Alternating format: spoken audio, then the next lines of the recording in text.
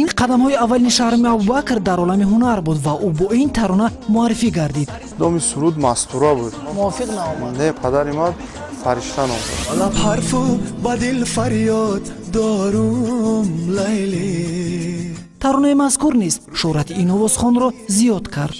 Сурдҳое ки дар васфи лайли зиёд буд ҳунармандони дигар низ сароида буданд. Ман ростӣ шинайдагӣ ҳастам. Ҷони лайли ба гулу маҳтоб изҳори нигаронӣ аз он кардед ки овозхонҳо бештар бозхонӣ мекунанд дигар сурдҳоро яъне ки дуздӣ.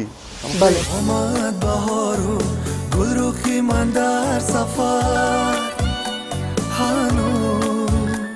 Аз даврони наврасӣ шаҳроми абубакр хотираҳои зиёде дорад ки яке аз онро бори аввал дар барномаи мо қисса кард ман дигар мактаб гӯя гирифтам синфи хидмон оварда будам ҷанг ҷанҷол шуда буд дар мактаб омада будам.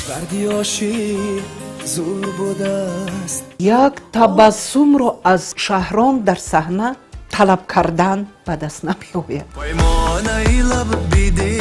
ин овозхон дар олами синемо низ мехоҳад маҳорати худро санҷад ва ҳамин аст ки дар чанд филми бадаӣ нақш офарид. Овози тирпарониро шунида давида меояд. Тибқи шартномаи ширкат ин ки ройгон буд шартномаи не баръакс буд ман саҳмгузорӣ кардаги ҳастам. Баъзе сарояндуҳо ҳастанд ки шаҳрон шудагӣ нестанд ки аллакай худашонро аз шаҳроман боло медонанд. Дили девона.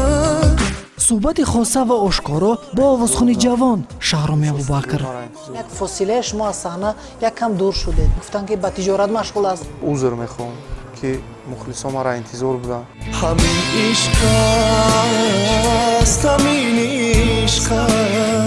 шоми якшанбе танҳо дар телевизиони душанбе.